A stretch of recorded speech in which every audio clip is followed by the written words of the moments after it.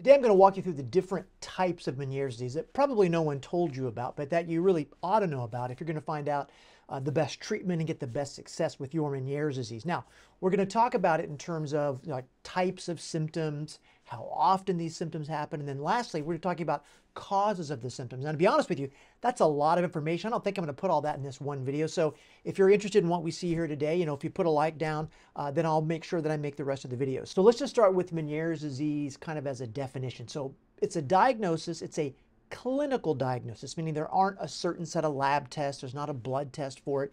And it's basically defined by at least two attacks of rotatory vertigo, tinnitus, and hearing loss with other diseases excluded. Okay.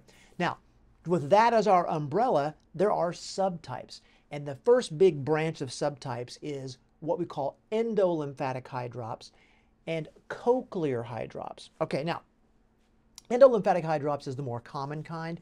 Uh, it is the one in where you have tinnitus, you have hearing loss, and you have episodes of rotational vertigo, right? So actually feeling like you're spinning or the room is spinning.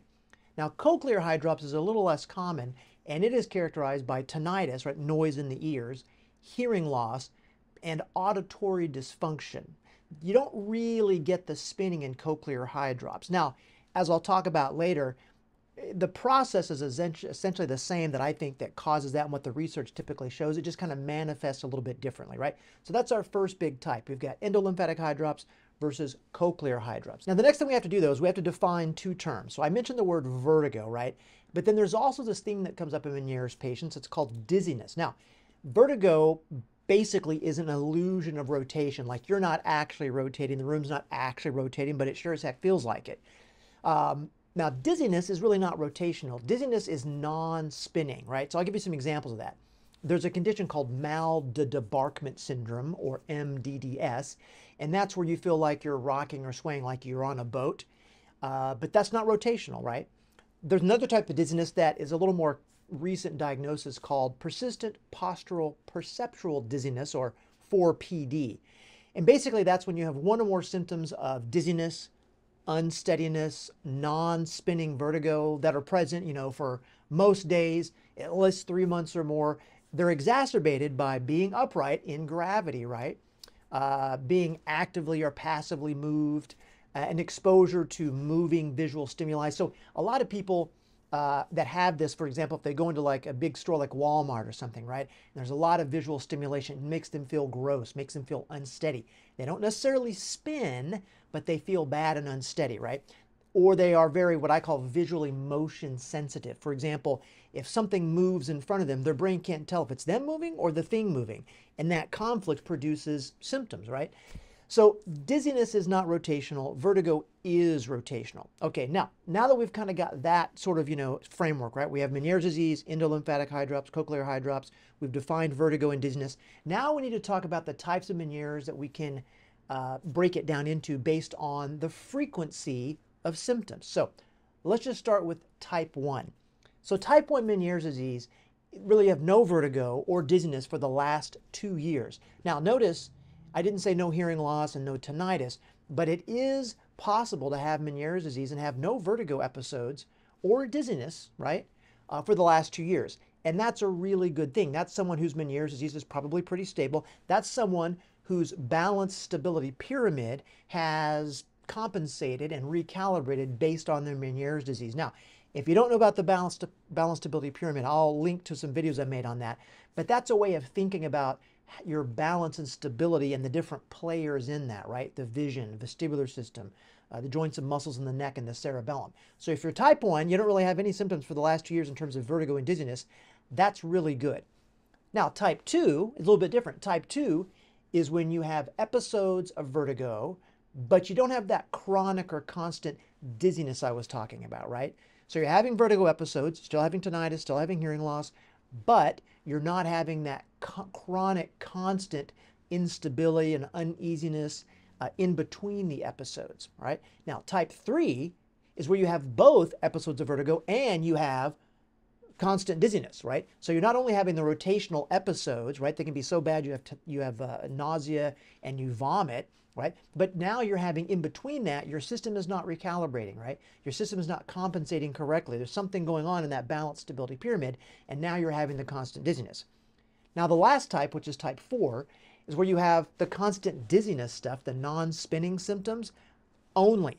No episodes of vertigo. Now, Again, there's a lot of stuff I want to tell you about each one of these different types, but I don't have time to talk all about it today.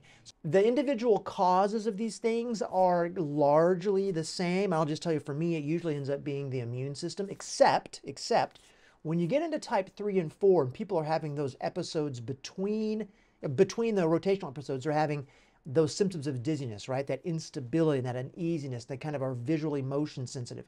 That is definitely a problem with that balance stability pyramid. And sometimes that chronic dizziness thing is not really a metabolic issue anymore.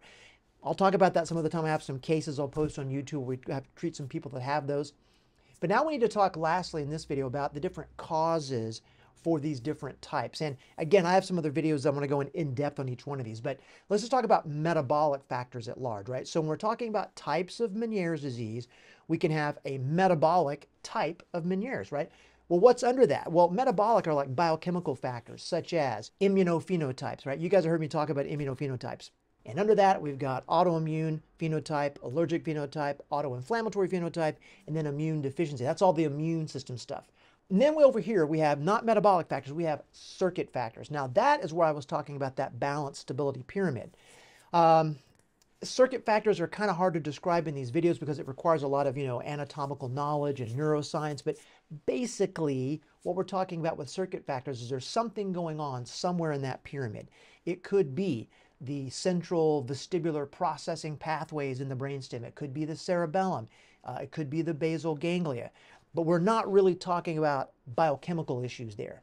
Now, there's another cause type, which is the person with Meniere's has got both metabolic and a circuit problem. Okay, now that's just a combo when usually we always work with the metabolic stuff first. And let me just stop by here by saying that I hope you're working with someone with your Meniere's disease that understands these different types because what happens a lot is Meniere's patients kind of get a real cookie cutter treatment plan, right? You go in, you have the Meniere's symptoms, maybe they do a VNG, and then they say, well, low sodium diet and diuretics, and maybe we'll do some steroids. But if that doesn't work and like work permanently, then what do you do? Well, then you're probably in one of these type 2, type 3, or type 4 Meniere's disease. And I hope you're working with someone that has something beyond the diuretics and the low sodium diet and the steroids because they're probably going to need to know that if you're already in type 2, 3, and 4 because that means your Meniere's is unstable. The last kind of cause type of Meniere's disease is you have structural damage in your inner ear that is unfortunately beyond the point of recovery. And these are people that end up getting surgery like endolymphatic decompression surgery, uh, canal plugging. And there is a place for those more extreme treatments, uh, but it's not the rule, right? So those are the different types of Meniere's disease I bet no one's ever told you about. And you have to ask yourself, why hasn't anyone ever told you? Well, it could be because, you know, they don't know. It's not that they don't care, but you have to know that there's a lot of information out there in the research literature about Meniere's that just no one's using. So the types that we talked about today, the reason it's important to know about them is to know where do you fit in with those, right? Because that's going to tell us a lot about the most appropriate treatment that has the best odds of helping you be stable and be symptom free as far as we can get. That might mean decreased tinnitus. Sometimes we do get hearing back. Uh, that means not having vertigo episodes. So you got to know where do you fit in. Am I endolymphatic? Am I cochlear? Under endolymphatic, am I type 1, type 2, type 3, type 4? Because when you get into type 3 and 4, now we're definitely getting into circuit problems, right? And medications like diuretics uh, are not really going to do anything for that. That requires a special type of rehabilitation. And then if we're talking about the metabolic type causes, do you know what your immunophenotype is? Do you know if you have any of these metabolic factors? Those are really important things. I think it's important for you to know. I think it's important for your doctor you're working with to know. So I hope you're working with someone that understands that stuff, right? So again, if you guys found these, this, this video uh, at least partially helpful, uh, put a like on there and then I'll, if I get like 100, I'll go ahead and finish the series out and dive into each one of those topics in detail. So I hope you guys found this helpful and I'll see you next time.